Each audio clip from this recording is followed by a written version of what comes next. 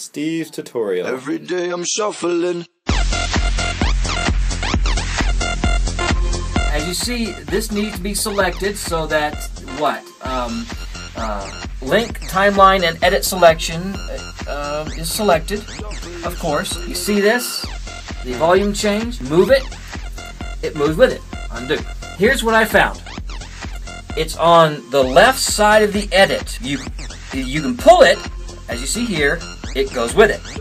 Undo. Same here. If you pull it, it goes with it. Undo. Or if you push it, it goes with it. Undo. Now, if you're on the left side and you push it like this, it stays behind.